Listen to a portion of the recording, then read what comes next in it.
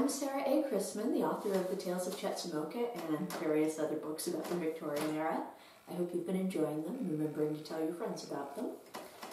Now, this is another themed clump of little videos about home repairs, because some of you have asked for that. And uh, this one is about the heating system.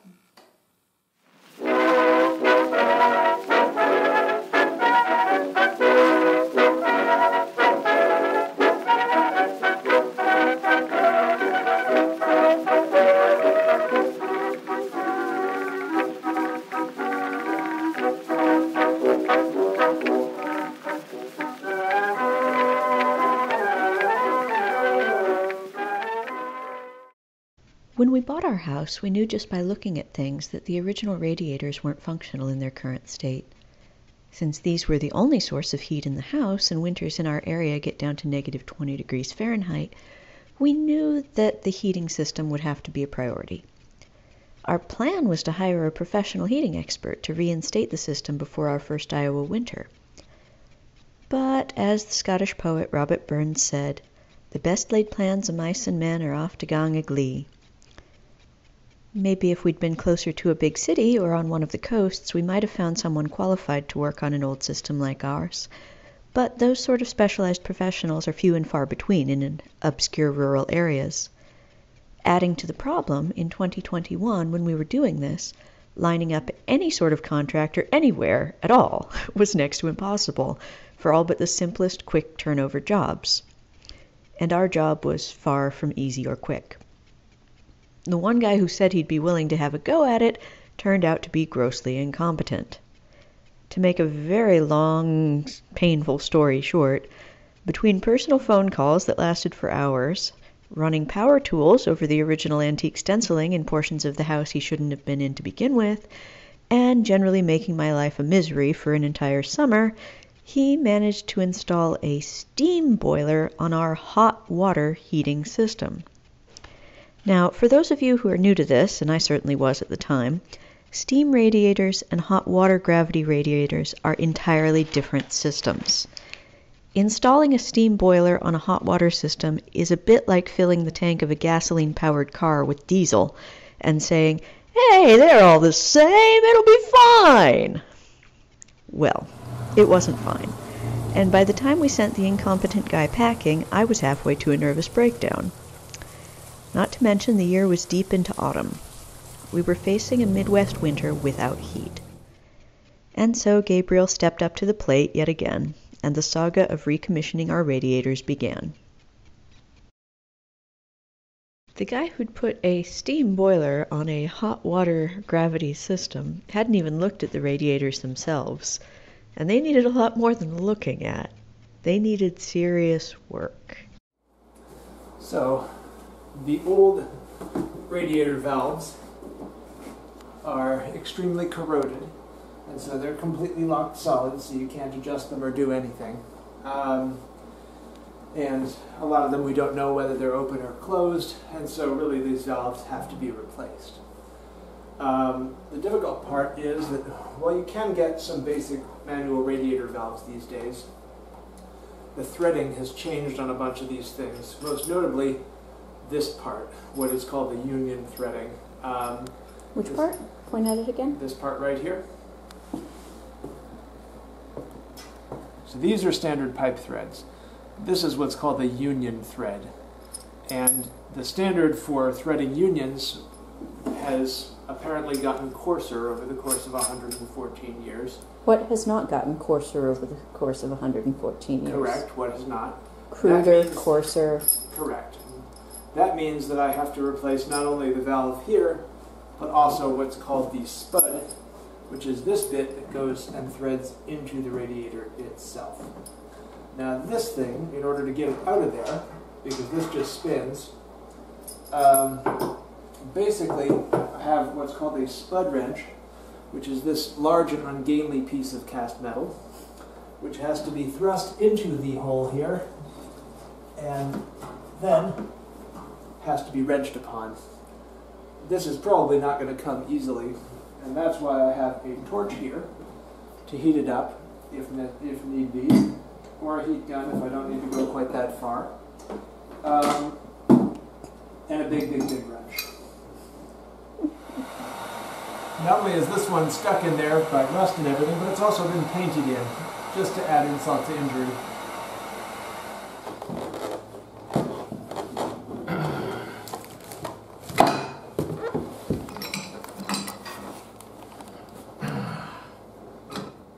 Frozen in the closed position.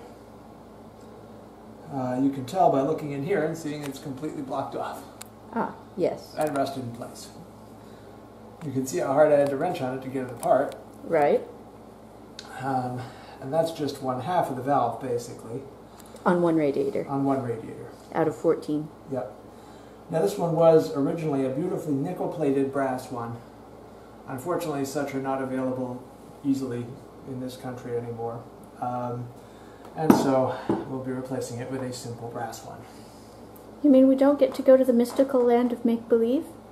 I would like to go to the mystical land of Make Believe. I think that would be rather pleasant. Where we can just buy these things? That would be wonderful. Now, one of the difficulties is that these new radiator valves are, of course, about half an inch shorter than the other ones, the originals. Meaning that, unfortunately, that means in order to get them to line up properly, I have to raise this pipe a little bit, which means going downstairs and just kind of forcing it up. Sometimes. So that's a spud remover? This is a spud wrench. Yep. It's quite the tool. It looks like something out of Star Wars. Or the Dark. Crystal. A little bit like that. It, yeah. it looks like something out of the Dark Crystal. Feel it. It's, I know it's heavy. Oh, good land. Yes. That's what, eight pounds? Probably more. Yeah, that's it's- heavy. very strong cast material. Um, my hope is it doesn't just round over and strip out. Yeah. My hope is the inside of the pipe doesn't round over and strip out. Basically, inside the spud, here's the new one so you can see, there's two little lumps. Mm-hmm. That means that when you put this onto the spud wrench, those two little lumps drop in like that into the grooves so that you can turn this threaded section without needing the wrench flats since those just spin. You Yay. Nope. No. Rounded over my tool. Uh,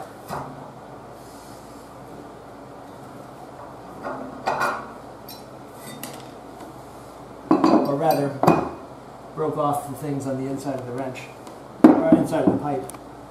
oh dear. That was the piece that the spud wrench was meant to engage with to turn the pipe. And Mm. unfortunately, it just broke right off. So now what? Dremel tool.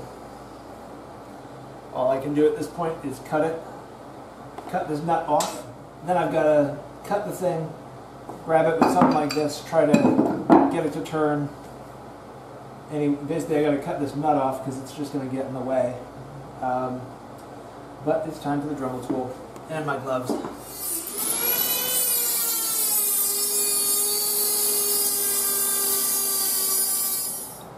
So now I've removed the, the spinning union nut so that I can get at the actual pipe. And now I'm just trying to put a giant pipe wrench on the thing and I'm going to try to turn it. So after a great deal of wrestling, the spud has been removed. You can see exactly how tortured it had to become by the time I got it apart. It's a little crimped. And you can see also that the two little spud things inside there, one was long gone and the other one I broke off trying to get it out. This thing is brass and so of course it's pretty soft and that's why the wrench was just squishing it while I was trying to get it out of there. And so now it's ready for me to put the new one on. What's the wrench made out of? The wrench is steel. Ah, steel versus brass. Steel versus brass. We know who wins. And it's steel with a lot of leverage and big teeth. it says heavy duty on it. 18 inch. It's a big wrench. I wonder if that's the one from the Clue game. It certainly could be the one from the Clue game because this looks like the appropriate style, right? Yeah, it's a It's murder. definitely a murder weapon. It's a murder re- weapon wrench. In fact, this one's you know heavy and big enough that it would be a kind of clumsy and unwieldy murder weapon. you know, personally, I'd go with something more like this 14 inch here, Uh, or even this very nice maneuverable monkey wrench. Well, I'll bear that in mind if I ever write a book set in the Clue world. But I think that's been overdone. I think it's been overdone too. But then again, so I'm trying to get it to go back where I want it, bit by bit, little tiny bit by little tiny bit, and it keeps on just wandering right back It's to where about it wants to be. 400 pounds, Oh no, more than that. That's my guess. 500. Something like that. Certainly way too much for me to lift. Mm. I can't even really lift each end of it. Little 500 pounds. Something like that, yeah.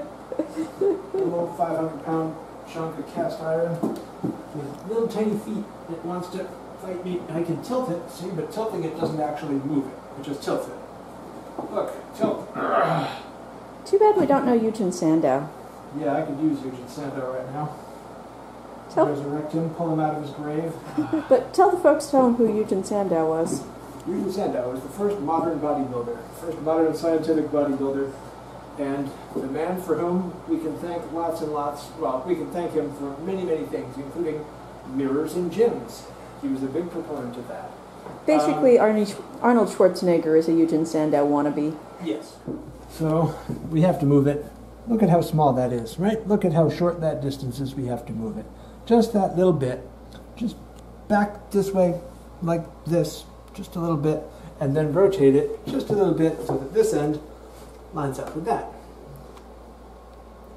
Only the thing's so darn heavy, and the divots in the floor are, well, they really want it to go in one place. That place is no longer where it belongs by, you know, several millimeters and uh, it doesn't want to go there. So Sarah and I will wrestle it into place. Right? I told you to get help with this stuff. Yeah, I mm-hmm. can't. It's a bonding experience. I told you to get help. I need help in many ways. Here you can see the marvelous application of the wisdom of the ancients. It was my idea. It was Archimedes' idea, my darling. Yeah, but I was the one that reminded you of it. Yes, yes. So Details, details, right? Details, details. I was the re- one who remembered my Archimedes. Come on, give me some credit. So the goal here is now we have a fulcrum. We have two two by four levers.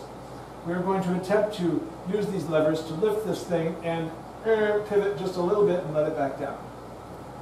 So that is the challenge. Let's see what we can do. Well, one radiator down and 13 to go, but we have a valve that now actually works. We can shut it all the way and you can unscrew it all the way, and hopefully somewhere in the middle will be the proper setting once I get a boiler installed. Um, but we're going to be able to adjust things, which is going to be very important when it comes to balancing the heat. Um, I got this end reconnected as well, and hopefully nothing's going to leak once I get everything actually uh, flowing through it. But it seems to be pretty solid here. So we will. Uh, Knock on wood. We'll knock on wood. We've got lots of wood here. So, We do have lots of wood. um, but yes, that's a uh, that's a start. And now I've seen sort of what it takes, and uh, I've got a few more valves to work with, and then I'll have to get proper sizes for the other ones, uh, which I'm sure I can find somewhere. Tolstoy's famous Victorian Russian novel Anna Karenina begins, All happy families resemble one another. Every unhappy family is unhappy in its own way. Gabriel could well say something similar about radiators. As he continued recommissioning the radiators throughout our house, each one seemed to present its own unique challenges. Every unhappy radiator is unhappy in its own way.